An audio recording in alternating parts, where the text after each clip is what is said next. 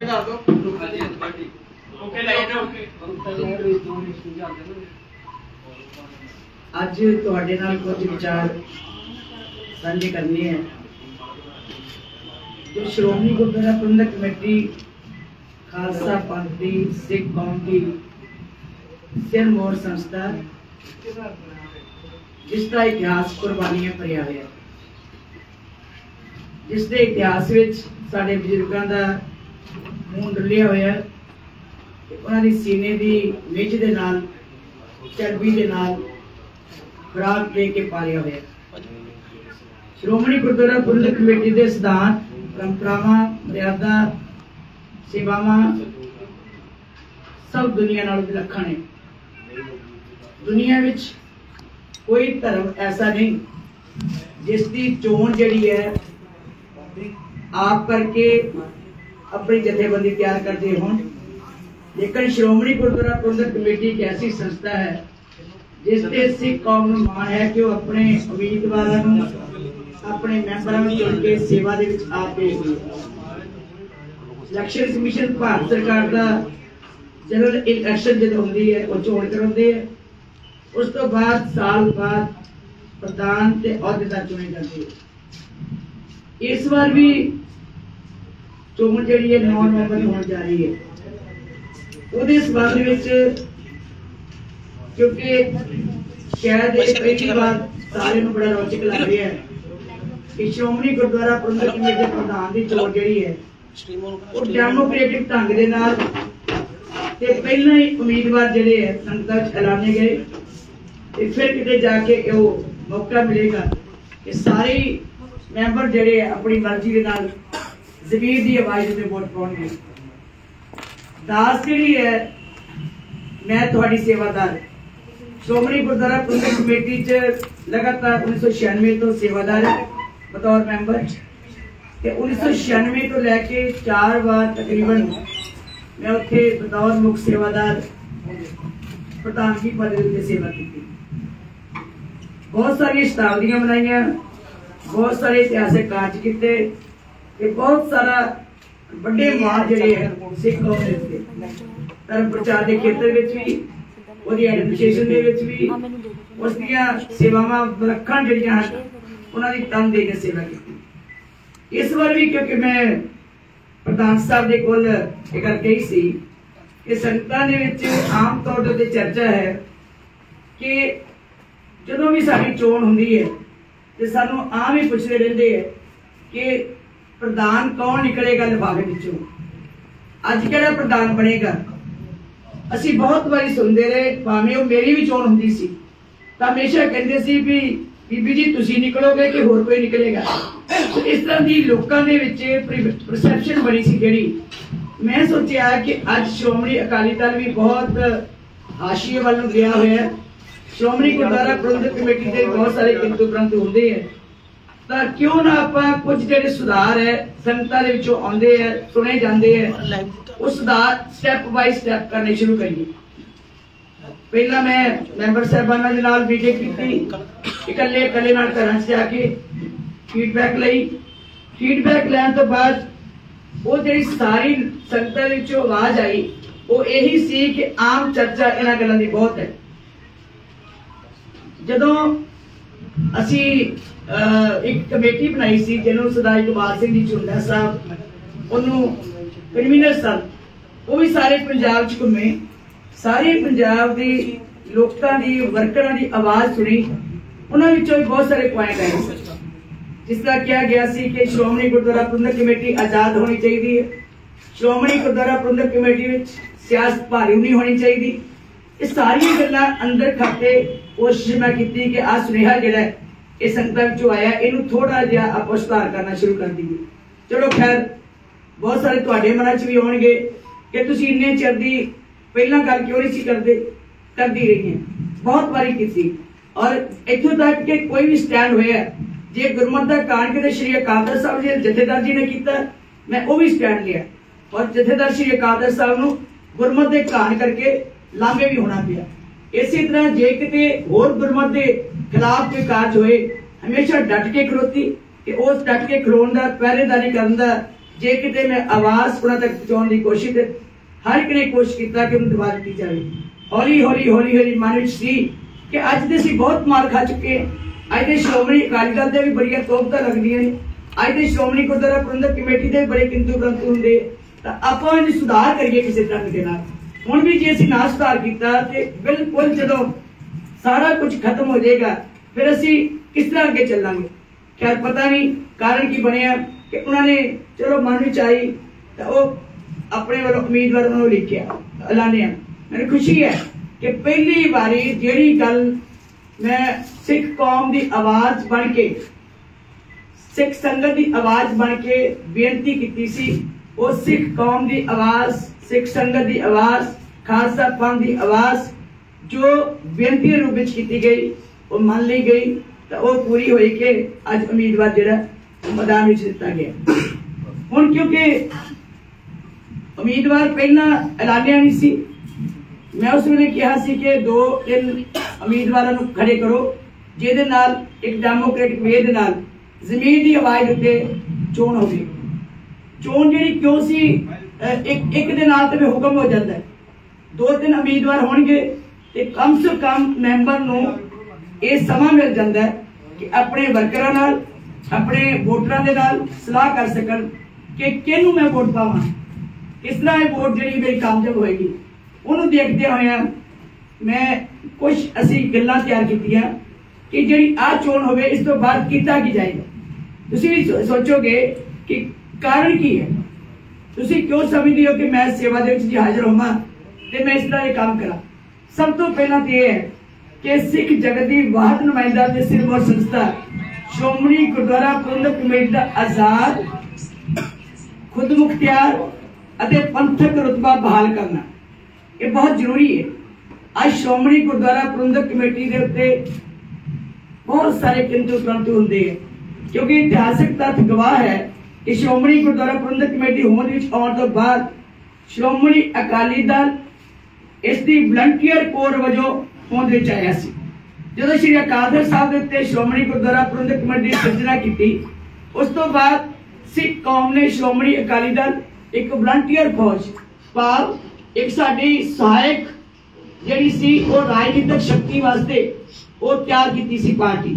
ਤਾਂ ਜੋ ਕੋਈ ਵੀ ਜ਼ੁਲਮ ਦਾ ਟੱਕਰਾ ਕਰਨਾ ਹੋਵੇ ਕੋਈ ਵੀ ਬੇਇਨਸਾਫੀਆਂ ਦੇ ਖਿਲਾਫ ਜੋ ਧਰਮ ਉਤੇ ਹਮਲਾ ਹੋਵੇ, ਉਹਦੇ ਉਹਦੇ ਵਾਸਤੇ ਜੇ ਕਿਤੇ ਮੁਕਾਬਲੇ ਕਰਨੇ ਪੈਣ ਤੇ ਸੰਘਰਸ਼ ਕਰਕੇ ਇਹ ਧਾਰਮਿਕ ਸਥਾਨਾਂ ਨੂੰ, ਧਰਮ ਦੇ ਸਿਧਾਂਤ ਨੂੰ ਗੁਰਮਤ ਨੂੰ ਇਹ ਬਚਾ ਸਕਣ ਸੋ ਇਹਦੇ ਵਾਸਤੇ ਸ਼੍ਰੋਮਣੀ ਕਲਚਰ ਦਲ ਹੋਂਦ ਵਿੱਚ ਆਇਆ।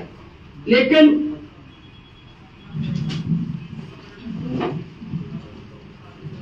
ਤਾਂ ਕਿ ਗੁਰਦੁਆਰਾ ਸਾਹਿਬਾਨ ਨੂੰ ਮਾਨਤਾ ਦੇ ਕਬਜ਼ੇ ਵਿੱਚ ਛਡਾਇਆ ਜਾਵੇ, ਜਦੋਂ ਕਿ ਮਾਨਤਾ ਦੇ ਕਬਜ਼ੇ ਸਨ। ਤਕਰੀਬਨ ਪੌਣੀ ਸਦੀ ਤੱਕ 75 ਸਾਲ ਤੱਕ, ਇਹ ਸ਼੍ਰੋਮਣੀ ਕਮੇਟੀ ਧਾਰਮਿਕ, ਸਿਆਸੀ ਅਤੇ ਸਮਾਜਿਕ ਖੇਤਰ ਵਿੱਚ ਸਿੱਖ ਪੰਥ ਦੀ ਅਗਵਾਈ ਕਰਦੀ ਰਹੀ।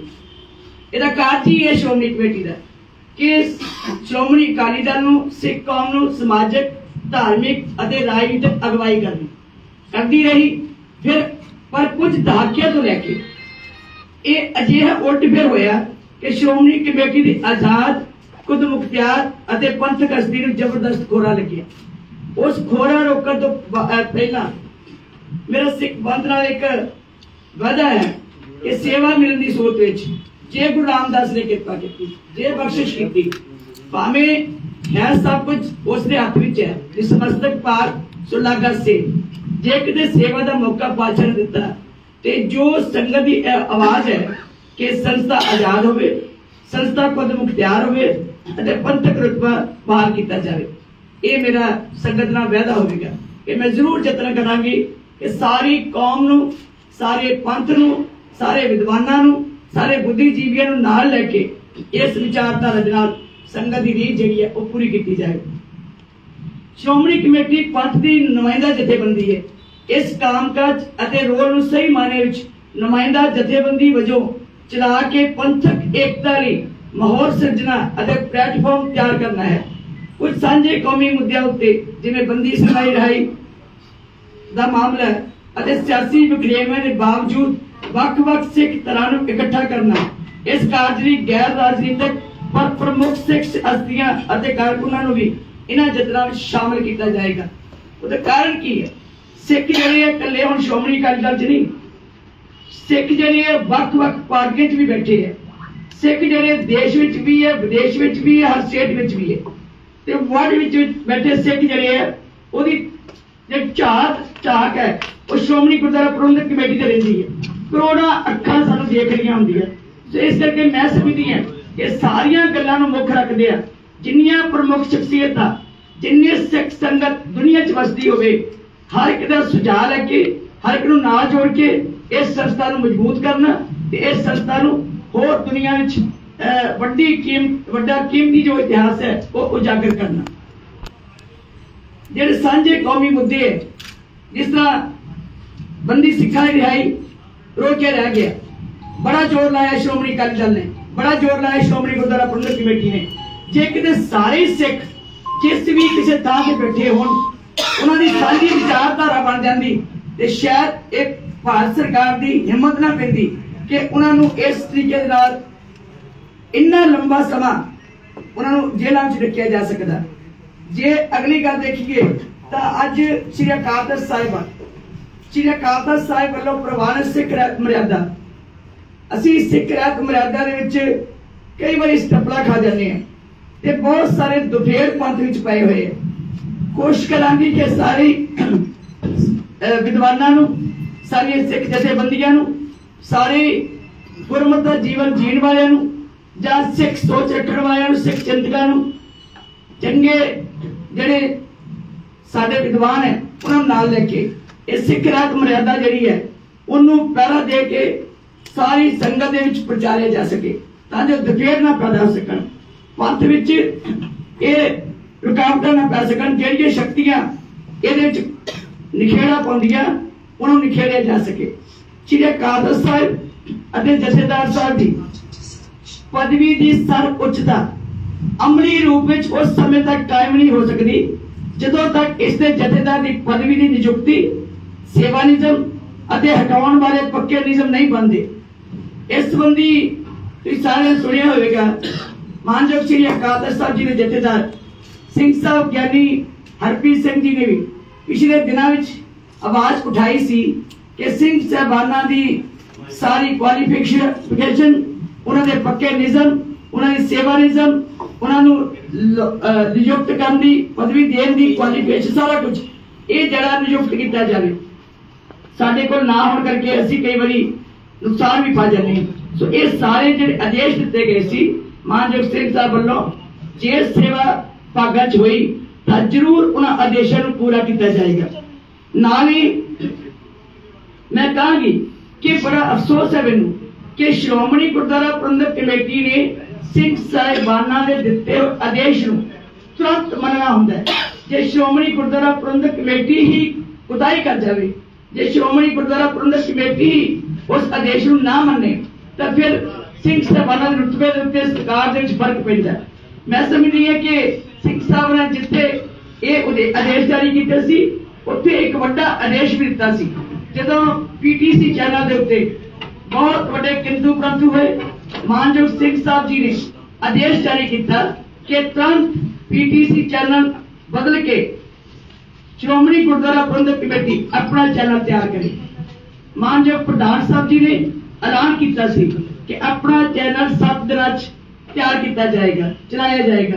ਅਫਸੋਸ ਹੈ ਕਿ ਉਹੀ ਪ੍ਰਧਾਨ ਸਾਹਿਬ ਜਿਨ੍ਹਾਂ ਨੇ ਇਹ ਐਲਾਨ ਕੀਤਾ ਸੀ ਸ਼੍ਰੀ ਅਕਾਲ ਤਖਤ ਸਾਹਿਬ ਜੀ ਨੇ ਦਿੱਤੇ ਹੋਏ ਆਦੇਸ਼ਾਂ ਨੂੰ ਨਾ ਮੰਨਣਾ ਮੈਂ ਸਮਝਦੀ ਇੱਕ ਕੁਤਾਹੀ ਹੈ ਉਹਨਾਂ ਆਦੇਸ਼ਾਂ ਨੂੰ ਪੂਰਾ ਕਰਨਾ ਤਾਂ ਜੋ ਸਿੰਘ ਸਾਹਿਬਾਨਾਂ ਦੀ ਕੀਤੀ ਹੋਈ ਗੱਲ ਜਨਤਾ ਜੀ ਦਾ ਦਿੱਤਾ ਹੋਇਆ ਹੁਕਮ ਸਿੱਖ ਸੰਗਤ ਵਿੱਚ ਸਤਿਕਾਰਿਆ ਜਾਵੇ ਮਾਨ ਪ੍ਰਾਪਤ ਹੋਵੇ ਅਸੀਂ ਕਹਿ ਸਕੀਏ ਕਿ ਸ਼੍ਰੀ ਅਕਾਲ ਤਖਤ ਸਾਹਿਬ ਦੇ ਜਥੇਦਾਰ ਜੀ ਦੀ ਅਗਵਾਈ ਜਿਹੜੀ ਆਦੇਸ਼ ਦੀ ਕੀਮਤ ਹੈ ਉਹ ਸਾਡੇ ਵਿੱਚੋਂ ਪੂਰੀ ਹੋ ਸਕੇ ਸਿੱਖ ਜਗਤ ਵਿੱਚ ਲਾਗੂ ਕਰਾਉਣਾ ਸ਼੍ਰੋਮਣੀ ਗੁਰਦੁਆਰਾ ਪ੍ਰਬੰਧਕ ਪਰ ਇਹ ਨਹੀਂ ਕੀਤਾ ਗਿਆ। ਸਿੱਖ ਸੰਗਤ ਦਾ ਭੇਸ ਹੈ ਕਿ ਸ਼੍ਰੋਮਣੀ ਕਮੇਟੀ ਦਾ ਪ੍ਰਧਾਨ ਜੇ ਇਹ ਅਕਾਲ ਸ੍ਰੀ ਅਕਾਲ ਸਾਹਿਬ ਦੀ ਮਰਿਆਦਾ ਨੂੰ ਨਹੀਂ ਮੰਨਦੇ ਜਾਂ ਉਹਦੇ ਆਦੇਸ਼ ਨੂੰ ਨਹੀਂ ਮੰਨਦੇ, ਤਾਂ ਸਮਝੋ ਕਿ ਇਹ ਢਾਹ ਲੱਗੇਗੀ ਉਹਨਾਂ ਦੀ ਸਰਵਉੱਚਤਾ ਨੂੰ। ਮੈਂ ਸਿੱਖ ਸੰਗਤ ਨਾਲ ਇਸ ਗੱਲ ਦਾ ਵੀ ਵਾਅਦਾ ਕਰਦੀ ਹਾਂ ਕਿ ਜੇ ਗੁਰੂ ਨੇ ਬਖਸ਼ਿਸ਼ ਕੀਤੀ, ਜੇ ਇਹ ਸੇਵਾ ਭਾਗਾਂ 'ਚ ਹੋਈ, ਤਾਂ ਮੈਂ ਜ਼ਰੂਰ ਜੋ ਆਦੇਸ਼ ਸਿੰਘ ਸਾਹਿਬਾਨਾਂ ਦਿੱਤੇ, ਉਹਨਾਂ ਨੂੰ ਤੁਰੰਤ ਅਸੀਂ ਪੂਰਾ ਕਰਾਂਗੇ।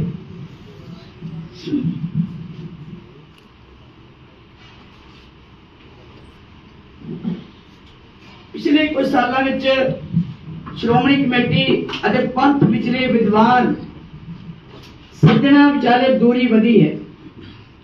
ਆਮ ਤੁਸੀਂ ਦੇਖਦੇ ਹੋ ਕਿ ਜਿੰਨੇ ਵੀ ਵਿਦਵਾਨ ਹੈ ਵਿਦਵਾਨ ਹੈ, ਸਵੇਦ ਵਿਦਵਾਨ ਹੈ, ਉਹਨਾਂ ਦੀ ਦੂਰੀ ਵੱਧ ਸਾਨੂੰ ਉਹ ਜੇ ਆਲੋਚਨਾ ਕਰਦੇ ਹੈ, ਤਾਂ ਉਸ ਆਲੋਚਨਾ ਨੂੰ ਕਿਤੇ ਵਿਰੋਧੀਆਂ ਵਜੋਂ ਨਹੀਂ ਲੈਣਾ ਚਾਹੀਦਾ।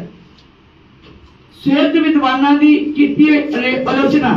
ਉਹਨਾਂ ਨੇ ਕੀਤੀ ਹੀ ਪੰਥਕ ਪਿੜ ਵਿੱਚ ਹੀ ਕਰਦੇ ਹੈ ਜੇ ਉਹਨਾਂ ਦੀ ਪੰਥਕ ਪਿੜ ਵਿੱਚ ਕੀਤੀ ਆਲੋਚਨਾ, ਅਸੀਂ ਉਹਨਾਂ ਨਾਲ ਸਿਰ ਜੋੜ ਕੇ ਬੈਠੀਏ, ਤਾਂ ਉਹਨੂੰ ਮੰਨਣਾ ਚਾਹੀਦਾ ਜਿੱਥੇ ਕਿ ਸਾਡੀ ਸੰਸਥਾ ਦਾ ਭਲਾ ਹੋਵੇ, ਜਿੱਥੇ ਸਿੱਖ ਕੌਮ ਦਾ ਭਲਾ ਹੋਵੇ, ਤੇ ਉਹਨਾਂ ਦੇ ਨਾਲ ਰਲ ਕੇ ਇਹ ਸਾਰੀ ਕੌਮ ਦੀ ਚੜ੍ਹਦੀ ਕਲਾ ਵਾਸਤੇ ਸਾਨੂੰ ਕਾਰਜ ਪੂਰੇ ਕਰਨੇ ਚਾਹੀਦੇ ਹੈ ਮੇਰਾ ਯਤਨ ਹੋਵੇਗਾ ਕਿ ਇਹਨਾਂ ਸਵੇਦ ਵਿਦਵਾਨਾਂ ਅਤੇ ਪੰਥਕ ਸੋਚ ਨਾਲ ਕੋਟ-ਕੋਟ ਬੁੱਧੀਜੀਵੀਆਂ ਤੱਕ ਖੁਦ ਪਹੁੰਚ ਕੀਤੀ ਜਾਵੇ ਤਾਂ ਕਿ ਉਹਨਾਂ ਦੀ ਸਮਰੱਥਾ ਅਤੇ ਸ਼੍ਰੋਮਣੀ ਕਮੇਟੀ ਦੀ ਹਸਤੀ ਅਤੇ ਸਮਰੱਥਾ ਨੂੰ ਚਲਾ ਕੇ ਕੌਮ ਸਾਹਮਣੇ ਦਰਪੇਸ਼ ਮਸਲਿਆਂ ਨੂੰ ਮੁਖਾਤਬ ਹੋਇਆ ਜਾਵੇ ਤਾਂ ਕਿ ਨਤੀਜੇ ਹਾਸਲ ਕਰਨ ਵੱਲ ਵਧਿਆ ਜਾ ਸਕੇ।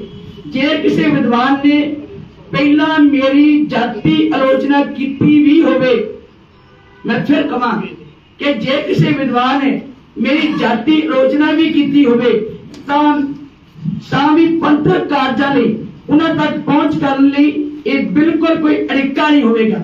ਕਿਉਂਕਿ ਮੈਂ ਕੋਈ ਜਾਤੀ ਮਫਾਜ ਵਾਸਤੇ ਨਹੀਂ, ਕਿਉਂਕਿ ਮੈਂ ਕੋਈ ਜਾਤੀ ਫਾਇਦੇ ਵਾਸਤੇ ਨਹੀਂ, ਨਿੱਜ ਲਈ ਨਹੀਂ, ਸਗੋਂ ਕੌਮੀ ਹਿੱਤਾਂ ਲਈ ਉਹਨਾਂ ਦੀ ਮਦਦ ਲੈਣੀ, ਹਮਾਇਤ ਲੈਣੀ ਚਾਹਾਂਗੀ। ਸੋ ਮੈਂ ਸਾਰੀ ਸੰਗਤ ਨੂੰ ਬੇਨਤੀ ਕਰਦੀ ਹਾਂ ਕਿ ਉਹ ਵਿਦਵਾਨ, ਸਵੇਤ ਵਿਦਵਾਨ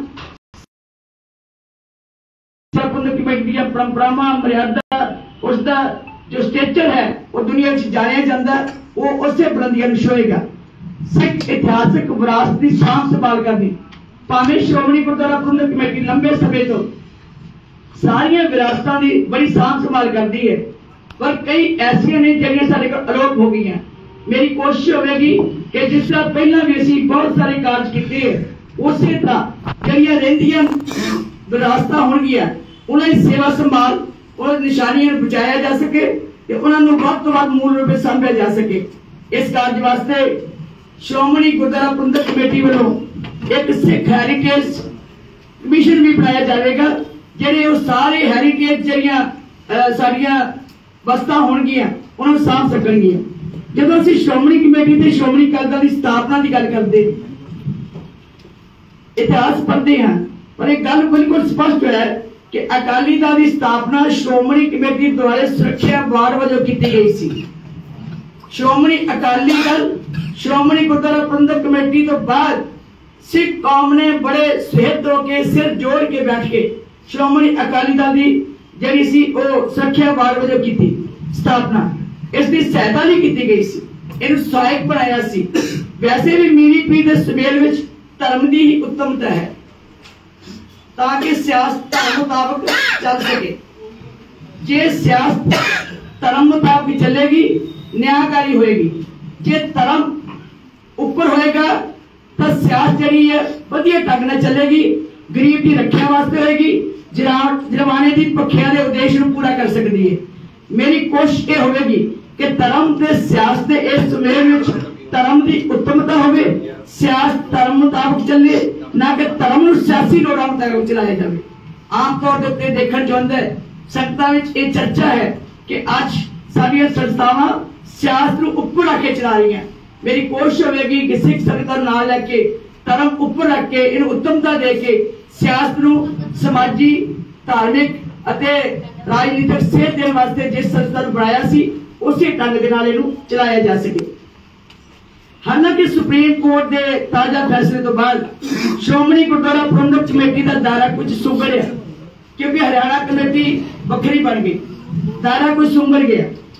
ਇਹ ਕੋਸ਼ਿਸ਼ ਹੋਵੇਗੀ ਕਿ ਸ਼੍ਰੋਮਣੀ ਕਮੇਟੀ ਨੂੰ ਅਸਲ ਵਿੱਚ ਸਮੁੱਚੇ ਪੰਥ ਦੀ ਨੁਮਾਇੰਦਾ ਜਥੇਬੰਦੀ ਬਣਾਉਣ ਲਈ ਵਿਦੇਸ਼ਾਂ ਅਤੇ ਦੇਸ਼ ਦੇ ਹੋਰ ਸੂਬਿਆਂ ਵਿੱਚ ਦੀਆਂ ਗੁਰਦੁਆਰਾ ਪ੍ਰਬੰਧਕ ਕਮੇਟੀਆਂ, ਪੰਜਾਬ ਵਿੱਚ ਦੀਆਂ ਗੁਰਦੁਆਰਾ ਪ੍ਰਬੰਧਕ ਕਮੇਟੀਆਂ ਅਤੇ ਪ੍ਰਮੁੱਖ ਸਿੱਖ ਸੰਸਥਾਵਾਂ ਨਾਲ ਤਾਲਮੇਲ ਕਰਕੇ ਉਹਨਾਂ ਨੂੰ ਵੀ ਸ਼੍ਰੋਮਣੀ ਕਮੇਟੀ ਦੇ ਨਾਲ ਲਿਆ ਜਾਵੇ ਤਾਂ ਕਿ ਨਾ ਸਿਰਫ ਪੰਥ ਦੇ ਅੰਦਰ ਬਿਹਤਰ ਤਾਲਮੇਲ ਪੈਦਾ ਕੀਤਾ ਜਾ ਸਕੇ, ਸਗੋਂ ਸਾਂਝੀ ਪੰਥਕ ਸ਼ਕਤੀ ਵਜੋਂ ਉਭਾਰਿਆ ਜਾ ਸਕੇ। ਸਿੰਘ ਸਭਾਵਾਂ ਜਦੋਂ ਸੀ, ਜਦੋਂ ਪਹਿਲਾਂ ਅਸੀਂ ਮੋਰਚੇ ਦਿੱਤੇ, ਸਿੰਘ ਸਭਾਵਾਂ ਸਾਰੀਆਂ ਸਿੱਖ ਜਥੇਬੰਦੀਆਂ, ਸਾਰੇ ਚੀਫ ਖਾਲਸਾ ਦੀਵਾਨ ਦੀਆਂ ਸੰਗਤਾਂ, ਉਹਨਾਂ ਸਾਰਿਆਂ ਨੇ ਸ਼੍ਰੋਮਣੀ ਅਕਾਲੀ ਦਲ ਦੇ ਮਹਾਨ ਵਰਕਰਾਂ ਨੇ ਸ- ਸਾਂਝੇ ਜਦੋਜਹਿਦ ਕੀਤੇ ਤਾਂ ਕਿਤੇ ਮੋਰਚੇ ਜਿੱਤੇ। ਜਦੋਂ ਅਸੀਂ ਸਾਰੇ ਇਕੱਠੇ ਹੋ ਜਾਵਾਂਗੇ ਪੰਥਕ ਸ਼ਕਤੀ ਬਣੇਗੀ। ਸਾਡਾ ਇੱਕ ਸਮਾਜ ਦੇ ਵਿੱਚ ਰੁਤਬਾ ਜਿਹੜਾ ਹੋਰ ਅੱਗੇ ਵਧੇਗਾ। ਸ਼੍ਰੋਮਣੀ ਕਮੇਟੀ ਨੇ ਕਾਫੀ ਮਹੱਤਵਪੂਰਨ ਸਿੱਖ ਸ਼ਹਿਰ ਛਾਪਿਆ ਹੋਇਆ। ਫ੍ਰੀ ਵੰਡਿਆ ਜਾ ਰਿਹਾ ਬੜਾ ਲਿਟਰੇਚਰ ਮਿਨੀਮਮ ਰੇਟ ਤੇ ਦਿੱਤਾ ਜਾਂਦਾ ਹੈ। ਫਿਰ ਵੀ ਪਿਛਲੇ ਕੁਝ ਸਮੇਂ ਦੇ ਵਿੱਚ ਕਈ ਮਹੱਤਵਪੂਰਨ ਪ੍ਰਕਾਸ਼ਨਾਮਾ ਜਾਂ ਤੇ ਦੁਬਾਰਾ ਛਪੀਆਂ ਨਹੀਂ, ਜਾਂ ਉਹਨਾਂ ਨੂੰ ਵੱਡੇ ਪੱਧਰ ਤੇ ਉਭਾਰਨ ਲਈ ਵੱਡਾ ਹਮਲਾ ਨਹੀਂ ਵੱਜਿਆ। ਇਸ ਤਰ੍ਹਾਂ 400 ਸਾਲਾਂ ਦੇ ਉੱਤੇ ਅਸੀਂ ਕੁਝ ਪ੍ਰਕਾਸ਼ਨਾਮਾ ਦਾ ਐਲਾਨ ਕੀਤਾ ਸੀ ਕਿ ਇਹਨੂੰ ਜਲਦੀ ਹੋਰ ਵੱਡੀ ਗਿਣਤੀ ਛਾਪਿਆ ਜਾਏਗਾ, ਪਰ ਨਹੀਂ ਛਪਿਆ। ਉੱਥੇ ਬੰਦ ਹੋ ਗਿਆ। ਇਸੇ ਤਰ੍ਹਾਂ ਕਿਹਾ ਸੀ, ਗੁਰੂ ਤੇਗ ਬਹਾਦਰ ਸਾਹਿਬ ਜੀ ਦੀ ਸਾਰੀ ਬਾਣੀ ਅਸੀਂ ਵੱਖ-ਵੱਖ ਭਾਸ਼ਾਵਾਂ ਦੇ ਇਕੱਠਾ ਕਰਕੇ ਸਿੱਖ ਸੰਗਤਾਂ ਤੱਕ ਪਹੁੰਚਾਵਾਂਗੇ। ਪੂਰਾ ਨਹੀਂ ਹੋ ਸਕਿਆ। ਮੈਂ ਸਭੀ ਦੀ ਕਿ ਮਹੱਤਵਪੂਰਨ ਜਿਹੜੇ ਕਿਤਾਬਚੇ ਹੈ, ਇਹਨਾਂ ਸਾਰਿਆਂ ਨੂੰ ਭਾਸ਼ਾ, ਵੱਖ-ਵੱਖ ਭਾਸ਼ਾਵਾਂ ਚ ਰੱਥਾ ਕਰਵਾ ਕੇ ਪ੍ਰਚਾਰ ਅਤੇ ਪ੍ਰਸਾਰ ਕਰਨ ਲਈ ਨਿੱਘਰ ਯਤਨ ਕੀਤੇ ਜਾਣਗੇ। ਇਹ ਮੇਰੇ ਮਨ ਵਿੱਚ ਖਿਚਾਓ ਵੀ ਹੈ।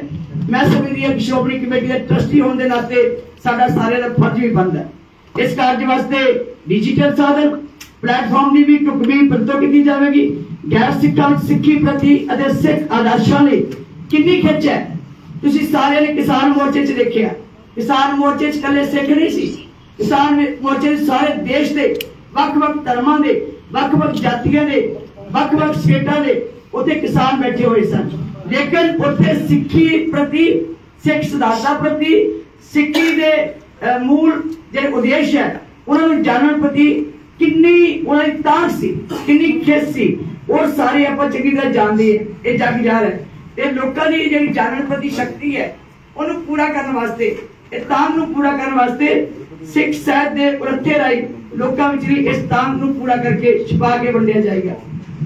ਗੁਰਦੁਆਰਾ ਸਾਹਿਬ ਪ੍ਰਬੰਧ ਤੋਂ ਇਲਾਵਾ ਸ਼੍ਰੋਮਣੀ ਕਮੇਟੀ ਦਾ ਮੂਲ ਆਦੇਸ਼ ਧਰਮ ਪ੍ਰਚਾਰ ਹੈ ਧਰਮ ਪ੍ਰਚਾਰ ਕਮੇਟੀ ਸਾਡੀ ਭਾਵੇਂ ਬਣੀ ਹੈ ਧਰਮ ਪ੍ਰਚਾਰ ਦੇ ਸਾਡੇ ਪ੍ਰਚਾਰਕ ਵੀ ਹੈ ਪਰ ਕੋਸ਼ਿਸ਼ ਕਰਾਂਗੇ ਜਿੱਥੇ ਸਾਡੇ ਧਰਮ ਪ੍ਰਚਾਰਕ ਹੈ ਉੱਥੇ ਨਾਲ ਨਾਲ ਸਾਡੇ ਬਹੁਤ ਸਾਰੇ ਮੈਂਬਰ ਬੜੇ ਸਤਿਕਾਰਯੋਗ ਸ਼ਖਸੀਅਤ ਹਨ ਜਿਹੜਾ ਕਿ ਧਰਮ ਪ੍ਰਚਾਰ ਨੂੰ ਬਹੁਤ ਵੱਡੀ ਮੁਹਿੰਮ ਬਣਾ ਕੇ ਚਲਾ ਸਕਦੇ ਹੈ ਇਹਦੇ ਵਾਸਤੇ ਸਾਡੇ ਜਿਹੜੇ ਇਸ ਸੋਚ ਵਾਲੇ ਇਸ ਚਾਹ ਵਾਲੇ ਜਿਸ ਤਰ੍ਹਾਂ ਸਾਡੇ ਬੀਬੀ ਹਰਜਿੰਦਰ ਕੌਰ ਜੀ ਚੰਡੀਗੜ੍ਹ ਵਾਲੇ, ਉਹਨੂੰ ਬੜੀ ਸ਼ੌਕ ਹੁੰਦਾ ਹੈ ਕਿ ਧਰਮ ਦਾ ਪ੍ਰਚਾਰ ਕੀਤਾ ਜਾਵੇ। ਇਸ ਤਰ੍ਹਾਂ ਹੋਰ ਸਾਰੀਆਂ ਸਾਡੇ ਮੈਂਬਰ ਨੇ ਬੜੇ ਸਤਿਕਾਰਯੋਗ ਜਿਹੜੇ ਧਾਰਮਿਕ ਰੁਚੀ ਰੱਖਦੇ, ਜ਼ਿਆਦਾ।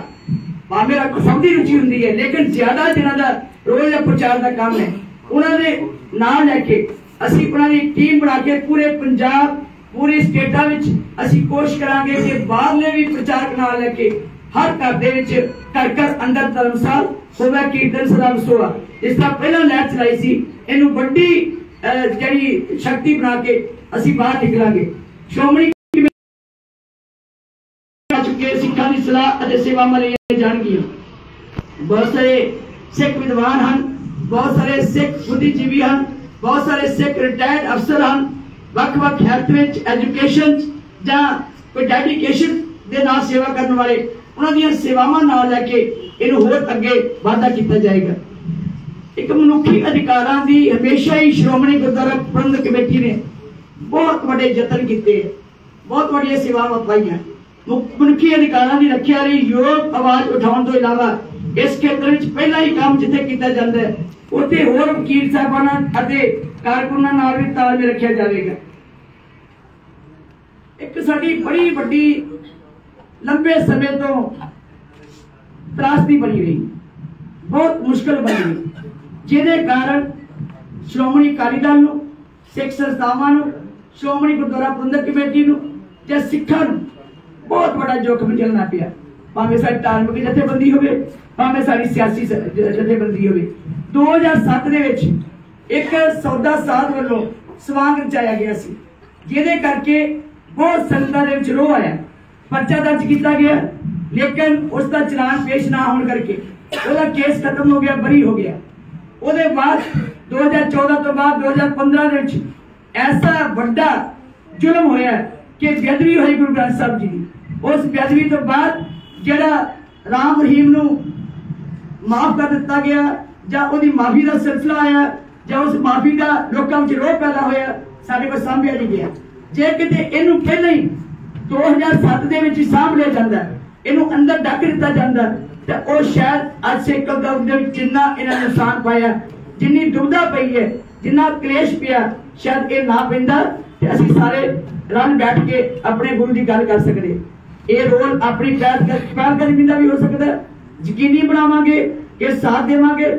ਜਾਂ ਪਹਿਲੇ ਹੀ ਲੜ ਰਹੇ ਗੁਰਸਿੱਖਾਂ ਦੀ ਯੋਗ ਹਮਾਇਤ ਅਤੇ ਸਹਿਯੋਗ ਦਾ ਵੀ ਹੋ ਸਕਦਾ ਹੈ ਕਿ ਉਹਨਾਂ ਦੇ ਨਾਲ ਸਹਿਯੋਗ ਕਰਕੇ ਅਸੀਂ ਉਹਨਾਂ ਦੇ ਇਸ ਦਰਦ ਨੂੰ ਸਾਰੇ ਇਕੱਠੇ ਹੋ ਕੇ ਆਪਸ ਸਾਂਝਾ ਕਰਾਂਗੇ। ਗੁਰਦੁਆਰਾ ਪ੍ਰਬੰਧ ਤੋਂ ਇਲਾਵਾ ਸ਼੍ਰੋਮਣੀ ਕਮੇਟੀ ਦਾ ਮੂਲ ਉਦੇਸ਼ ਧਰਮ ਪ੍ਰਚਾਰ ਹੈ। ਇਸ ਉੱਤੇ ਵਿਸ਼ੇਸ਼ ਧਿਆਨ ਦਿੱਤਾ ਜਾਵੇਗਾ ਤਕਨੀਕੀ ਤਰੀਕਿਆਂ ਦਾ ਵੀ ਤੇ ਸ਼੍ਰੋਮਣੀ ਕਮੇਟੀ ਦੇ ਪ੍ਰਚਾਰ ਕਰਨ ਦਾ ਸ਼੍ਰੋਮਣੀ ਕਮੇਟੀ ਦੇ ਵੱਖਰੇ ਵੱਖਰੇ ਸੇਵਾ ਕਾਰਜ ਜਿਵੇਂ ਸਿੱਖਿਆ, ਸਿਹਤ, ਖੇਤਾਂ ਵਿੱਚ ਉੱਗਾ ਯੋਗਦਾਨ ਪਾ ਚੁੱਕੇ ਸਿੱਖਾਂ ਦੀ ਸਲਾਹਕਾਰ। ਇਸ ਤਰ੍ਹਾਂ ਦੇ ਬਹੁਤ ਸਾਰੇ ਕੰਮ ਹੈ। ਜਿਹੜੇ ਅਸੀਂ ਵਿਦਿਅਕ ਸੰਸਥਾਵਾਂ ਦੇ ਗੁਣਾਤਮਕ ਵਿਕਾਸ ਤੇ ਵਿਸ਼ੇਸ਼ ਧਿਆਨ ਦਿੱਤਾ ਜਾਵੇ, ਤਾਂ ਜੋ ਅਗਲੇ ਸਾਲਾਂ ਵਿੱਚ ਉਹ ਵਕਾਰੀ ਤੇ ਉੱਚ ਸੰਸਥਾ ਜਿਹੜੀ ਹੈ, ਉਹ ਬਣ ਸਕੇ। ਸੋ ਮੈਂ ਸਮਝਦੀ ਹਾਂ ਕਿ ਬਹੁਤ ਸਾਰੇ ਕਾਰਜ ਕਰਨ ਵਾਲੇ ਇਸ ਤੋਂ ਇਲਾਵਾ ਵੀ, ਫਿਰ ਵੀ ਮੈਂ ਸਾਰੀ ਸੰਗਤ ਨੂੰ ਇਹ ਕਰਦੀ ਹਾਂ ਕਿ ਅੱਜ ਜੇ ਸੇਵਾ ਦੇ ਵਿੱਚ ਡੈਮੋਕ੍ਰੇਸੀ ਢੰਗ ਦੇ ਨਾਲ ਸੰਗਤ ਦੇ ਰੂਬਰੂ ਜੇ ਦੋ ਉਮੀਦਵਾਰ ਆਉਣਗੇ ਸਾਡੇ ਮੈਂਬਰ ਸਾਹਿਬਾਨ ਤੁਹਾਡੀ ਸਲਾਹ ਦੇ ਨਾਲ ਜਦੋਂ ਆਪਣਾ ਫੈਸਲਾ ਕਰਨਗੇ, ਮੇਰਾ ਖਿਆਲ ਹੈ ਹੁਣ ਕੋਈ ਇਹ ਨਹੀਂ ਕਹਿ ਸਕਦਾ ਕਿ ਪ੍ਰਧਾਨ ਲਿਫਾਫੇ ਚੋਂ ਨਿਕਲਿਆ ਪ੍ਰਧਾਨ ਡਿਕਟੇਟਰਸ਼ਿਪ ਚ ਪੈਦਾ ਹੋਇਆ ਜੇ ਪ੍ਰਧਾਨ ਦੀ ਪਦਵੀ ਅੱਜ ਸੰਗਤ ਦੀ ਆਵਾਜ਼ ਵਿੱਚੋਂ ਨਿਕਲੇਗੀ, ਮੈਂ ਸਮਝਦੀ ਕਿ ਸੰਗਤ ਇੱਕ ਰਾਹਤ ਮਹਿਸੂਸ ਕਰੇਗੀ ਤੇ ਚੜ੍ਹਦੀ ਕਲਾ ਦੇ ਨਾਲ ਆਉਣ ਵਾਲੀ ਸੇਵਾ ਜਿਹੜੀ ਚੱਲਦੀ ਰਹੇਗੀ। ਮੈਂ ਸਾਰੀ ਸੰਗਤ ਨੂੰ ਬੇਨਤੀ ਕਰਦੀ ਹਾਂ, ਆਓ, ਕੌਮ ਦੇ ਵਾਰਸੋ, ਖਾਲਸਾ ਪੰਥ ਦੀ ਚੜ੍ਹਦੀ ਕਲਾ ਵਾਸਤੇ ਤੁਸੀਂ ਇਸ ਜੋ ਕੀਤਾ ਹੋਇਆ ਫੈਸਲਾ, ਇਹਨੂੰ ਸਵੀਕਾਰ ਕਰੋ, ਸਾਥ ਦਿਓ। ਖਾਲਸਾ ਪੰਥ ਦੀ ਨੁਮਾਇੰਦਾ ਜਮਾਤ, ਸ਼੍ਰੋਮਣੀ ਗੁਰਦੁਆਰਾ ਪ੍ਰਬੰਧਕ ਕਮੇਟੀ ਸੰਸਥਾ ਦੀ ਇੱਕ ਮੈਂਬਰ ਹੋਣ ਦੇ ਨਾਤੇ ਮੈਂ ਮਹਿਸੂਸ ਕਰਦੀ ਹਾਂ ਕਿ ਇਹ ਸਾਰੇ ਮੈਂਬਰ ਸਾਹਿਬਾਨ ਸਾਡੇ ਬਹੁਤ ਹੀ ਨਿਸ਼ਕਾਮ ਸੇਵਕ ਹੈ। ਕੋਈ ਲਾਲਚ ਨਹੀਂ। ਕਿਸੇ ਕਿਸਮ ਦਾ ਇਹਨਾਂ ਨੇ ਉਥੋਂ ਕੋਈ ਲਾਹਾ ਨਹੀਂ ਲੈਣਾ ਹੁੰਦਾ। ਕੇਵਲ ਤੇ ਕੇਵਲ ਮਾਨ ਸਨਮਾਨ ਉਸ ਸੰਸਥਾ ਵਿੱਚ ਪ੍ਰਾਪਤ ਕਰਦੇ ਹੈ ਸਾਰੇ ਪਰਿਵਾਰ ਦੀ ਸੇਵਾ ਨਿਸ਼ਕਾਮ ਹੁੰਦੀ ਹੈ। ਮੇਰੀ ਹੱਥ ਜੋੜ ਕੇ ਬੇਨਤੀ ਹੈ ਮੈਂਬਰ ਸਾਹਿਬਾਨਾਂ ਨੂੰ ਕਿ ਮੈਂ ਤੁਹਾਡੀ ਖਾਲਸਾ ਪੰਥ ਦੀ ਨੁਮਾਇੰਦਾ ਜਮਾਤ ਦੀ ਬਿਲਕੁਲ ਤੁਹਾਡੀ ਇੱਕ ਸੇਵਾਦਾਰ ਬਣ ਕੇ ਉਸ ਪਦਵੀ ਦੇ ਵਾਸਤੇ ਚੋਣ ਲੜਨ ਜਾ ਰਹੀ ਹੈ। ਜਿਸ ਪਦਵੀ ਨੂੰ ਤੁਸੀਂ ਬਹੁਤ ਸਤਿਕਾਰ ਦਿੰਦੇ ਹੋ। ਕੋਈ ਡਰਨ ਦੀ ਲੋੜ ਨਹੀਂ। ਮੈਨੂੰ ਥੋੜਾ ਜਿਹਾ ਧਿਆਨ ਵਿੱਚ ਆਇਆ ਕਿ ਬਹੁਤ ਸਾਰੇ ਡਰਾਵੇ ਦਿੱਤੇ ਜਾ ਰਹੇ। ਜਿਸ ਤਰ੍ਹਾਂ ਮੈਨੂੰ ਥ੍ਰੈਟ ਕੀਤਾ ਗਿਆ ਪ੍ਰੈਸ਼ਰ ਕੀਤਾ ਗਿਆ ਕਿ ਬਿਨਾਂ ਵਜ੍ਹਾ ਤੋਂ, ਬਿਨਾਂ ਗਲਤੀ ਤੋਂ, ਬਿਨਾਂ ਅਵਗਿਆ ਤੋਂ ਬਿਨਾਂ ਕਿਸੇ ਨੈਗੇਟਿਵ ਗਤੀਵਿਧੀ ਤੋਂ ਮੈਨੂੰ ਉਸ ਪਾਰਟੀ ਵਿੱਚੋਂ ਸਸਪੈਂਡ ਕੀਤਾ ਗਿਆ। ਮੈਨੂੰ ਅਫਸੋਸ ਹੈ, ਸਾਰੀ ਜ਼ਿੰਦਗੀ ਰਹੇਗਾ ਕਿ 100 ਸਾਲ ਦਾ ਇਤਿਹਾਸ ਮੇਰੇ ਆਪਣੇ ਪਰਿਵਾਰ ਦਾ, ਜਿਹੜਾ ਕਿ 1920 ਚ ਸ਼੍ਰੋਮਣੀ ਅਕਾਲੀ ਪੈਦਾ ਹੋਇਆ 1922 ਚ ਪਹਿਲੀ ਸ਼੍ਰੋਮਣੀ ਗੁਰਦੁਆਰਾ ਪ੍ਰਬੰਧਕ ਕਮੇਟੀ ਬਣੀ 28 ਸਾਲ ਸੰਤ ਬਾਬਾ ਪ੍ਰੇਮ ਸਿੰਘ ਜੀ, ਜੋ ਮੇਰੇ ਤਾਇਆ ਸੌਰ ਅਸਰ ਉਹ 28 ਸਾਲ ਮੈਂਬਰ ਐਸਜੀਪੀਸੀ ਰਹੇ। 50 ਤੱਕ ਦੋ ਵਾਰ ਐਮਐਲਏ ਸ਼੍ਰੋਮਣੀ ਅਕਾਲੀ ਦਲ ਦੇ ਬਣੇ। ਮੇਰੇ ਪਿਤਾ ਜੀ ਮਾਨਯੋਗ ਬਾਬਾ ਨਾਮ ਸਿੰਘ ਜੀ, ਛੇ ਚੋਣਾਂ ਨੇ ਲੜੀਆਂ, ਮੰਤਰੀ ਵੀ ਬਣੇ, ਸਰਦਾਰ ਪ੍ਰਕਾਸ਼ ਸਿੰਘ ਬਾਦਲ ਸਾਹਿਬ ਦੇ ਨਾਲ ਫੋਰੈਸਟ ਮਿਨਿਸਟਰ ਰਹੇ 12 ਸਾਲ ਮੈਂਬਰ ਐਸਜੀਪੀਸੀ ਰਹੇ 26 ਸਾਲ ਲਗਾਤਾਰ ਮੈਂ ਉਸ ਸੰਸਥਾ ਦੀ ਮੈਂਬਰ 96 ਤੋਂ ਲੈ ਕੇ ਅੱਜ ਤੱਕ ਚਾਰ ਵਾਰ ਕੌਮ ਨੇ ਮੌਕਾ ਦਿੱਤਾ ਕਿ ਮੁੱਖ ਸੇਵਾਦਾਰ ਦੇ ਤੌਰ ਤੇ ਸੇਵਾ ਕਰਾਂ। ਮੈਨੂੰ ਅਫਸੋਸ ਹੈ ਕਿ ਇਹਨਾਂ ਸਾਰੀਆਂ ਸੇਵਾਵਾਂ ਨੂੰ ਨਜ਼ਰ ਅੰਦਾਜ਼ ਕਰਦਿਆਂ ਹੋਇਆਂ ਬਿਨਾਂ ਵਜ੍ਹਾ ਤੋਂ ਪਾਰਟੀ ਵਿੱਚ ਪਤਾ ਨਹੀਂ ਕਿਹੜੀ ਗੱਲੋਂ ਉਹਨਾਂ ਨੇ ਮੈਨੂੰ ਜੇ ਸਸਪੈਂਡ ਕੀਤਾ ਮੈਂ ਧੰਨਵਾਦ ਕਰਦੀ ਉਹਨਾਂ ਦਾ ਕਿ ਸ਼ਾਇਦ ਮੇਰੇ 'ਚ ਕਮੀ ਹੋ ਸਕਦੀ ਹੈ। ਮੇਰੀ ਕਮੀ ਕਰਕੇ ਕਿਤੇ ਪਾਰਟੀ ਵਿੱਚ ਗਿਰਾਵਟ ਨਾ ਆਈ ਹੋਵੇ, ਮੈਂ ਉਸ ਗੱਲ ਦੀ ਮਾਫੀ ਮੰਗਦੀ ਹੈ। ਪਰ ਇਹ ਵਾਅਦਾ ਮੇਰਾ ਕਿ ਮੈਨੂੰ ਅਹੁਦੇ ਨਾ ਮਿਲਣ, ਮੈਨੂੰ ਪਦਵੀ ਨਾ ਮਿਲੇ। ਸ਼੍ਰੋਮਣੀ ਅਕਾਲੀ ਦਲ ਮੇਰੀਆਂ ਰਗਾ ਚ ਕੋਈ ਨਹੀਂ ਕੱਢ ਸਕਦਾ। ਸ਼੍ਰੋਮਣੀ ਅਕਾਲੀ ਦਲ ਦਾ ਪਿਆਰ, ਉਹ ਜਥੇਬੰਦੀ ਦਾ ਸਤਿਕਾਰ ਮੇਰੇ ਹਿੱਤੇ 'ਚ ਕੋਈ ਨਹੀਂ ਕਰ ਸਕਦਾ, ਕਿਉਂਕਿ ਇਹ ਸਾਡੇ ਖੂਨ ਵਿੱਚ ਰਚਿਆ ਹੋਇਆ ਸਾਰੀ ਜ਼ਿੰਦਗੀ ਇੱਕ ਵਰਕਰ ਬਣ ਕੇ ਇੱਕ ਸੇਵਕ ਬਣ ਕੇ ਸ਼੍ਰੋਮਣੀ ਅਕਾਲੀ ਦਲ ਵਾਸਤੇ ਘਰ ਘਰ ਜਾ ਕੇ ਹਰ ਪਰਿਵਾਰ ਦੇ ਬੱਚੇ ਨੂੰ ਪ੍ਰੇਰ ਕੇ ਮੈਂ ਉਸ ਸੰਸਥਾ ਨੂੰ ਮਜ਼ਬੂਤ ਵੀ ਕਰਾਂਗੀ ਔਰ ਸ਼੍ਰੋਮਣੀ ਅਕਾਲੀ ਦਲ ਬੁਲੰਦੀਆਂ ਵਿੱਚ ਲਿਜਾਣ ਵਾਸਤੇ ਆਪਣੀ ਤਾਕਤ ਵੀ ਲਾਵਾਂਗੀ। ਤੁਹਾਡਾ ਸਾਰੇ ਜੀ ਨੇ ਕੱਲ 12 ਵਜੇ ਤੱਕ ਦਾ ਸਮਾਂ ਦਿੱਤਾ ਹੈ ਕਿ ਆਖਰੀ ਵਾਰ ਮੈਂ ਦੱਸਦਾ ਤੁਹਾਨੂੰ ਇਹੀ ਕੁਛ ਕੋਈ ਨਹੀਂ 12 ਵਜੇ ਤੱਕ ਦਿਨ 1 ਵਜੇ ਦਿਨ ਮੈਂ ਆਪਣਾ ਤੁਹਾਨੂੰ ਦੱਸ ਦਿੱਤਾ। ਕੱਲ ਜਾਓਗੇ 12 ਵਜੇ ਤੱਕ ਇੱਥੇ ਦਫ਼ਤਰ ਆ ਜਾਓ। ਹੁਣੇ ਉਹਨੇ ਕੀਤਾ ਕੱਲ ਜਾਓਗੇ ਦਫ਼ਤਰ ਮੇਰੇ ਆਪਣੀ ਹੈ ਆਖਰੀ ਮੈਂ ਮੰਗਦੀ ਨਹੀਂ ਜੀ। ਮੈਂ ਤਾਂ ਸਵਾਲ ਕੀਤੇ ਉਹਨਾਂ ਨੂੰ। ਮੈਨੂੰ ਦੱਸੋ ਕਿ ਕੀ ਕਾਰਨ ਹੈ ਕਿ ਮੈਨੂੰ ਪਾਰਟੀ ਸਸਪੈਂਡ ਕੀਤਾ? ਮੈਨੂੰ ਦੱਸੋ ਮੇਰਾ ਦੋਸ਼ ਕੀ ਹੈ? ਮੈਨੂੰ ਦੱਸੋ ਕਿ ਕਿਹੜਾ ਸਾਡਾ ਸੰਵਿਧਾਨ ਹੈ? ਕਿਸ ਕਿਸ ਮਦ ਰਾਹੀਂ ਮੈਨੂੰ ਪਾਰਟੀ ਵਿੱਚ ਸਸਪੈਂਡ ਕੀਤਾ? ਕਿਹਨੇ ਸ਼ਿਕਾਇਤ ਕੀਤੀ ਸੀ ਮੇਰੇ ਖਿਲਾਫ? ਕਿਹੜੀ ਸ਼ਿਕਾਇਤ ਆਈ ਹੈ ਜਿਹਦੀ ਤੌਰ ਤੇ ਉੱਤੇ? ਜਦੋਂ ਤੁਸੀਂ ਐਕਸ਼ਨ ਲਿਆ। ਤਾਂ ਕਿਹੜੀ ਡਿਸਪਲਿਨਰੀ ਕਮੇਟੀ ਬਣੀ ਹੈ? ਇਹ ਕਦੋਂ ਬਣੀ? ਡਿਸਪਲਿਨਰੀ ਕਮੇਟੀ ਕਦੋਂ ਬਣੀ ਸੀ? ਜਦੋਂ ਇਹਨੂੰ ਪਤਾ ਲੱਗਾ ਕਿ ਕਾਲੋ ਸਾਹਿਬ ਦੇ ਘਰ ਰਵੀ ਕਾਨ ਕਾਲੋ ਦੇ ਘਰ? ਸੱਤ ਅੱਠ ਸਾਡੇ ਲੀਡਰ ਸਾਹਿਬਾਨ ਬੈਠੇ ਸਨ। ਉਹ ਮਾਰੀ ਜੀ WhatsApp ਦੇ ਉੱਤੇ ਅਜੇ ਖਬਰ ਚੜੀ ਨਹੀਂ ਸੀ। ਇੱਕਦਮ 5 ਮਿੰਟਾਂ 'ਚ ਮਾਨਯੋਗ ਪ੍ਰਧਾਨ ਸਾਹਿਬ ਨੇ ਦਿੱਲੀੋਂ ਉਹ ਡਿਸਪਲਿਨਰੀ ਕਮੇਟੀ ਐਲਾਨ ਕਰ ਦਿੱਤੀ। ਨਾ ਕੋਈ ਉੱਥੇ ਸਾਡੀ ਪਾਰਟੀ ਹੈ। ਸਾਰੀ ਪਾਰਟੀ ਦਾ ਢਾਂਚਾ ਭੰਗ ਹੋਇਆ ਪਿਆ। ਵਰਕਿੰਗ ਕਮੇਟੀ ਦੀ ਕੋਈ ਮੀਟਿੰਗ ਨਹੀਂ ਹੋਈ। ਵਰਕਿੰਗ ਕਮੇਟੀ ਹੋਂਦ ਵਿੱਚ ਹੈ। ਇਹ ਡਿਸਪਲਿਨਰੀ ਕਮੇਟੀ ਵਰਕਿੰਗ ਕਮੇਟੀ ਦੀ ਮੀਟਿੰਗ ਕਰਕੇ ਬਣਨੀ ਚਾਹੀਦੀ ਸੀ ਪਰ ਅਫਸੋਸ ਨਾ ਵਰਕਿੰਗ ਕਮੇਟੀ ਮੀਟਿੰਗ ਹੋਈ ਨਾ ਪ੍ਰਧਾਨ ਸਾਹਿਬ ਨੇ ਕੋਈ ਡਿਸਪਲਿਨਰੀ ਕਮੇਟੀ ਬਣਾਉਣ ਲਈ ਇਜਾਜ਼ਤ ਲਈ ਸਿੱਧਾ 2 ਮਿੰਟਾਂ ਵਿੱਚ ਆਪਣੇ ਆਪ ਉਹ ਕਮੇਟੀ ਸਥਾਪਿਤ ਕੀਤੀ ਤੇ ਅੱਜ ਜੋ ਐਕਸ਼ਨ ਕਰ ਰਹੇ ਇਹਨਾਂ ਦੀ ਆਪਣੀ ਹੋਂਦ ਕੀ ਹੈ? ਇਹ ਆਪਣੀ ਕਿਸ ਕਮੇਟੀ ਦੇ ਕਿਸ ਸੰਵਿਧਾਨ ਰਾਹੀਂ ਮੈਨੂੰ ਇਹ ਐਕਸ਼ਨ ਲੈ ਰਹੇ? ਮੈਂ ਇਸ ਗੱਲ ਨੂੰ ਪੁੱਛਣਾ ਚਾਹੁੰਦਾ ਤੁਸੀਂ ਆਖਰੀ ਵਾਰ ਪੇਸ਼ ਹੋਵੋਗੇ ਜਿਹੜਾ ਮੌਕਾ ਦਿੱਤਾ ਜਾ ਰਿਹਾ ਜਾਂ ਨਹੀਂ? ਮੌਕਾ ਤੇ ਉਦੋਂ ਦੇਣਾ ਚਾਹੀਦਾ ਸੀ ਨਾ ਜੋ ਸਸਪੈਂਡ ਕਰਨਾ ਸੀ ਉਦੋਂ ਮੈਂ ਬੁਲਾਉਣਾ ਚਾਹੀਦਾ ਸੀ। ਹੁਣ ਬਣਾਉਣ ਦਾ ਫਾਇਦਾ ਕੀ ਹੈ? ਬੀਬੀ ਜੀ ਤੁਸੀਂ ਸਮਝਦੇ ਹੋ ਕਿ ਇਹ ਜਿਹੜਾ ਤੁਹਾਨੂੰ ਨੋਟਿਸ ਦਿੱਤਾ ਗਿਆ ਜਾਂ ਸਸਪੈਂਸ਼ਨ ਤੁਹਾਡੀ ਜਿਹੜੀ ਹੈ ਇਹ ਤੁਹਾਡੀ ਨਜ਼ਰਾਂ 'ਚ ਹੈਗੀ ਹੈ ਗੈਰ ਕਾਨੂੰਨੀ ਹੈ ਗੈਰ ਸੰਵਿਧਾਨਿਕ ਹੈ ਮੈਂ ਤਾਂ ਪਹਿਲਾਂ ਹੀ ਕਹੀ ਜਾਂਦੀ ਗੈਰ ਕਾਨੂੰਨੀ ਤੇ ਗੈਰ ਮੈਂ ਸਾਰਾ ਕੁਝ ਦੱਸ ਦਿੱਤਾ। ਔਰ ਚਾਰ ਪੁਆਇੰਟ ਮੈਂ ਲਿਖ ਕੇ ਦਿੱਤੇ ਸੀ ਵੀ ਇਹਦਾ ਜਵਾਬ ਦੇ ਦਿਓ। ਮੇਰੇ ਖਿਲਾਫ ਕੋਈ ਲਿਖਤੀ ਸ਼ਿਕਾਇਤ ਆਈ ਉਹ ਦੱਸ ਦਿਓ। ਤੁਹਾਨੂੰ ਕੋਈ ਕਿਹੜਾ ਮੈਂ ਬਿਆਨ ਦਿੱਤਾ ਪਾਰਟੀ ਖਿਲਾਫ ਉਹ ਦੱਸ ਦਿਓ। ਤੁਹਾਨੂੰ WhatsApp ਦੇ ਨਹੀਂ, ਜੋ ਮੈਂ ਭੇਜਿਆ ਜਵਾਬ, ਉਹਦਾ ਕੋਈ ਜਵਾਬ ਨਹੀਂ। ਇੱਕੋ ਕਹੀ ਜਾਂਦੇ ਕੱਲ ਨੂੰ 12 ਵਜੇ ਤੱਕ ਕੱਲ ਨੂੰ 1 ਵਜੇ ਤੱਕ। ਮੈਨੂੰ ਤਾਂ ਚਿੰਤਾ ਹੀ ਨਹੀਂ ਜੀ ਜੇ ਤੇ ਉਮੀਦਵਾਰ ਐਲਾਨਾਂ ਤੋਂ ਪਹਿਲਾਂ ਮੈਂ ਕੋਈ ਐਸੇ ਕੰਮ ਕੀਤੇ ਸੀ ਅਵਗਿਆ ਕੀਤੀ ਸੀ, ਬਿਆਨ ਦਿੱਤਾ ਸੀ, ਜਾਂ ਮੈਂ ਕਿਸੇ ਨੂੰ ਕੁਝ ਕਿਹਾ ਸੀ, ਜਾਂ ਮੈਂ ਉਹਦੀ ਉਦਾਈ ਕੀਤੀ ਸੀ, ਉਹਦੇ ਖਿਲਾਫ ਬੋਲੀ ਸੀ, ਫਿਰ ਕਹਿ ਸਕਦੇ ਸੀ ਵੀ ਅਸੀਂ ਐਕਸ਼ਨ ਲਿਆ। ਲੇਕਿਨ ਜਦੋਂ ਕੋਈ ਉਮੀਦਵਾਰ ਐਲਾਨਿਆ ਹੀ ਨਹੀਂ ਗਿਆ ਸੀ ਸਸਪੈਂਡ ਪਹਿਲਾਂ ਕਰ ਦਿੱਤਾ ਤੇ ਉਮੀਦਵਾਰ ਬਾਅਦ ਚ ਐਲਾਨਿਆ ਇਹ ਕਿੱਦਾਂ ਦਾ ਕਾਨੂੰਨ ਹੈ? ਬੀਬੀ ਜੀ ਦੋ ਸਵਾਲ ਨੇ। ਅਥਾਰਟੀ ਹੈ ਜੀ। ਸਾਰੇ ਮੈਂਬਰਾਂ ਨੂੰ ਕਹਿ ਰਹੇ ਜੇ ਤੁਸੀਂ ਉੱਥੇ ਜਦੋਂ ਲਿਖੋਗੇ ਨਾ ਅਸੀਂ ਤੁਹਾਡੀ ਲਿਖਾਈ ਪਛਾਣ ਲੈਣੀ ਹੈ। ਕਿਸੇ ਨੇ ਵੋਟ ਨਹੀਂ ਪਾਉਣੀ ਉੱਧਰ। ਬੀਬੀ ਜੀ ਇੱਕ ਇੱਕ ਕੌਣ ਕਹਿ ਰਿਹਾ? ਲੀਡਰ ਹੀ ਕਹਿ ਰਹੇ ਨੇ ਹੋਰ ਕੌਣ ਕਹਿ ਰਿਹਾ? ਇੱਕ ਸਵਾਲ ਦਾ ਜਵਾਬ ਦਿਓ। ਜੇ ਫਰਜ਼ ਕਰ ਲਈਏ ਜੇ ਤੁਹਾਨੂੰ ਅਕਾਲੀ ਦਲ ਦੇ ਵਿੱਚੋਂ ਪਰਮਨੈਂਟ ਤੌਰ ਤੇ ਨਿਸ਼ਕਾਸਤ ਕਰ ਦਿੱਤਾ ਜਾਂਦਾ। ਤੇ ਤੁਸੀਂ ਇਨ ਫਿਊਚਰ ਆਪਣਾ ਇੱਕ ਸੈਪਰੇਟ ਇੱਕ ਨਵਾਂ ਅਕਾਲੀ ਦਲ ਬਣਾਓਗੇ? ਦੇਖੋ। ਦੂਜਾ ਸਵਾਲ ਜੇ ਤੁਸੀਂ ਐਸਜੀਪੀਸੀ ਦੀਆਂ ਚੋਣਾਂ ਜਿੱਤ ਜਾਂਦੇ ਹੋ ਤੇ ਤੁਸੀਂ ਅਕਾਲੀ ਦਲ ਦੀ ਹੀ ਨੁਮਾਇੰਦਗੀ ਕਰੋਗੇ ਜਾਂ ਆਪਣੀ ਇੱਕ ਸੈਪਰੇਟ ਕੋਈ ਜੱਥਾ ਸ਼੍ਰੋਮਣੀ ਅਕਾਲੀ ਦਲ ਕਿਸੇ ਇੱਕ ਵਿਅਕਤੀ ਦੀ ਜ਼ਗੀਰ ਨਹੀਂ। ਸ਼੍ਰੋਮਣੀ ਅਕਾਲੀ ਦਲ ਦਾ ਢਾਂਚਾ ਭੰਗ ਹੈ। ਕੇਵਲ ਪ੍ਰਧਾਨ ਸਾਹਿਬ ਹੀ ਪਾਰਟੀ ਦੇ ਵਿੱਚ ਨੁਮਾਇੰਦੇ ਹਨ। ਜੇ ਸਾਰਾ ਢਾਂਚਾ ਹੀ ਭੰਗ ਹੈ, ਤੇ ਫਿਰ ਕਿਹੜੀ ਪਾਰਟੀ, ਕਿਹੜੀ ਮੀਟਿੰਗ ਕਰਕੇ ਮੇਰੇ ਤੇ ਐਕਸ਼ਨ ਲਿਆ?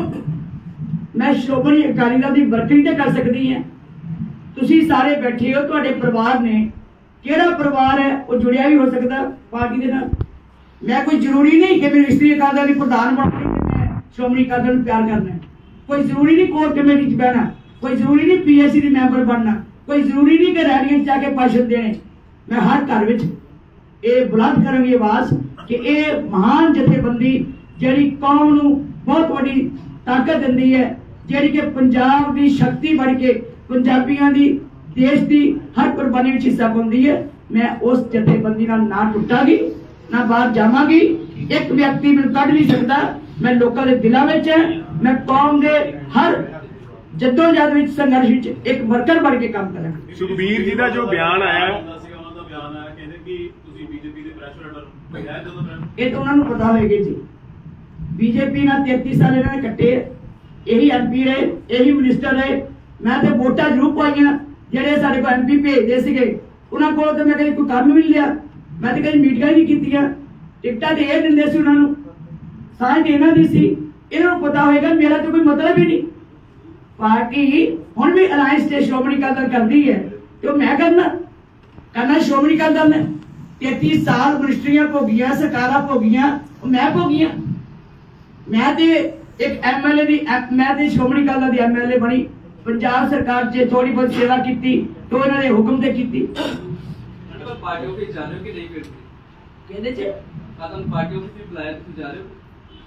ਕੋਈ ਨਹੀਂ ਬੁਲਾਇਆ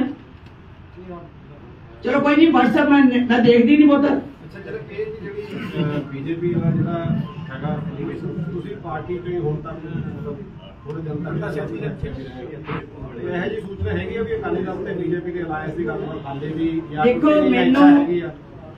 ਮੈਨੂੰ ਇਸ ਗੱਲ ਦਾ ਤੇ ਗਿਆਨ ਹੈ ਕਿ ਸ਼੍ਰੋਮਣੀ ਅਕਾਲੀ ਦਲ ਚਾਹੇਗਾ ਕਿਉਂਕਿ ਅਲਾਈਅੰਸ ਤੋਂ ਬਿਨਾ ਇੱਥੇ ਸੀਟਾਂ ਇੱਕ ਦੂਜੇ ਨੂੰ ਰਲ ਕੇ ਜਿੱਤੀਆਂ ਜਾਂਦੀਆਂ। ਔਰ ਮੈਨੂੰ ਪਤਾ ਹੈ ਕਿ ਜਿਸ ਦਿਨ ਮੇਰੇ ਕੋਲ ਆਏ ਸੀ ਮਾਨਯੋਗ ਸਰਦਾਰ ਡਾਕਟਰ ਦਲਜੀਤ ਸਿੰਘ ਚੀਮਾ ਜੀ ਇਦਾਂ ਵਿਚਾਰ ਚਰਚਾ ਚੱਲੀ। ਮੈਨੂੰ ਪੁੱਛਿਆ ਵੀ ਇਸ ਵਾਰੀ ਕਿੱਦਾਂ ਫਿਰ ਐਮਪੀ ਦੀ ਚੋਣ ਚ ਕਿੱਦਾਂ ਹੋਣੀ ਹੈ? ਕਹਿੰਦੇ ਅਲਾਈਅੰਸ ਤੋਂ ਬਿਨਾ ਨਾ ਉਹ ਇੱਕ ਸੀਟ ਜਿੱਤ ਸਕਦੇ, ਨਾ ਅਸੀਂ ਜਿੱਤ ਸਕਦੇ। ਇਕੱਠੇ ਲੜਾਂਗੇ, ਤਾਂ ਹੀ ਜਿੱਤਾਂਗੇ। ਇਹਦਾ ਮਤਲਬ ਕਿ ਪਾਰਟੀ ਦੇ ਅੰਦਰ, ਕਿਉਂਕਿ ਉਹੀ ਸਲਾਹਕਾਰ ਹੁੰਦੇ ਹੈ ਉਹਨਾਂ ਨਾਲ ਸਲਾਹ ਹੁੰਦੀ ਹੈ, ਕੋਈ ਨਾ ਕੋਈ ਚਰਚਾ ਹੁੰਦੀ ਹੋਈ ਹੈ ਮਾਨ ਸਨਮਾਨ ਦੇ ਨਾਲ ਕੁਝ ਨਹੀਂ ਹੈਗਾ, ਮੈਨੂੰ ਕਰਨੀ ਹੈਗਾ।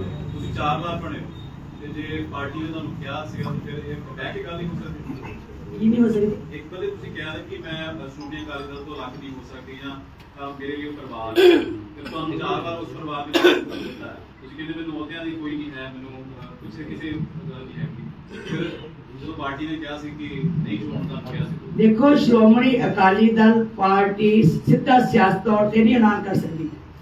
ਸ਼੍ਰੋਮਣੀ ਗੁਰਦੁਆਰਾ ਪ੍ਰਬੰਧਕ ਕਮੇਟੀ ਦੇ ਮੈਂਬਰ ਨੂੰ ਉੱਥੇ ਨਾਮ ਪੇਸ਼ ਕਰਕੇ ਤਾਇਦ ਵਜੀਦ ਕੀਤੀ ਜਾਂਦੀ ਹੈ। ਅੱਜ ਤੱਕ ਨਹੀਂ ਕਿਸੇ ਨੇ ਐਲਾਨ ਕੀਤਾ। ਸਿਰਫ ਲਿਫਾਫੇ 'ਚ ਲਿਖ ਕੇ ਜ਼ਰੂਰ ਭੇਜ ਦਿੰਦੇ ਸੀ ਦਿੰਦੇ ਸੀ ਉਹਨਾਂ ਨੂੰ ਅਧਿਕਾਰ। ਪਰ ਉੱਥੇ ਵੀ ਇੱਕ ਹੋਰ ਮੈਂਬਰ ਵੀ ਖੜਾ ਹੋ ਜਾਂਦਾ ਦੋ, ਤਿੰਨ ਮੈਂਬਰ ਹਮੇਸ਼ਾ ਖੜੁੰਦੇ ਆ।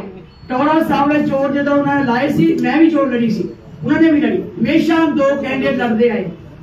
ਇਹ ਹਰ ਇੱਕ ਨੂੰ ਆਜ਼ਾਦੀ ਹੈ। ਇਹ ਸੰਵਿਧਾਨ ਹੈ ਸਾਡਾ।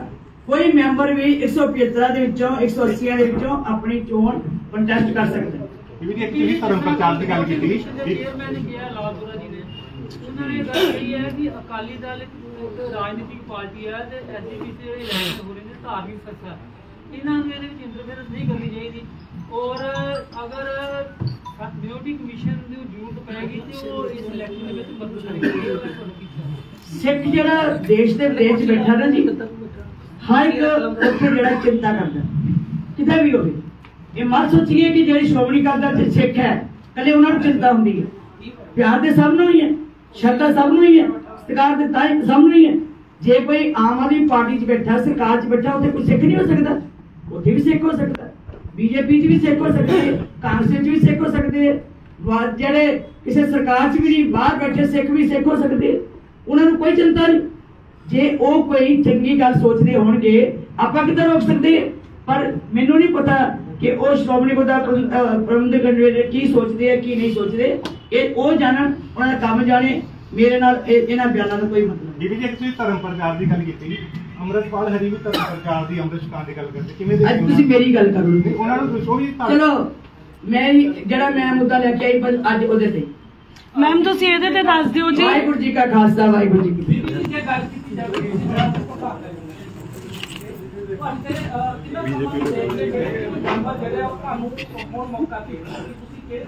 ਮੈਂਬਰਾਂ ਨੂੰ ਸਭ ਪਤਾ ਜੀ। ਹਰ ਮੈਂਬਰ ਹਰ ਕੰਮ ਤੋਂ ਜਾਣੂ ਹੈ ਮੇਰੀ ਐਡਮਿਨਿਸਟ੍ਰੇਸ਼ਨ ਤੋਂ ਮੇਰੇ ਧਰਮ ਪ੍ਰਚਾਰ ਤੋਂ। ਹਰ ਮੈਂਬਰ ਨੂੰ ਪਤਾ ਹੈ ਔਰ ਮੈਂ ਇਹ ਕਹਿ ਸਕਦੀ ਹਾਂ ਕਿ ਜਿੰਨੀ ਵਾਰੀ ਕੋਈ ਉੱਥੇ ਮੈਂ ਸੇਵਾ ਕੀਤੀ ਹੈ ਐਕਸਟਰਾ ਆਰਡਰ ਹੀ।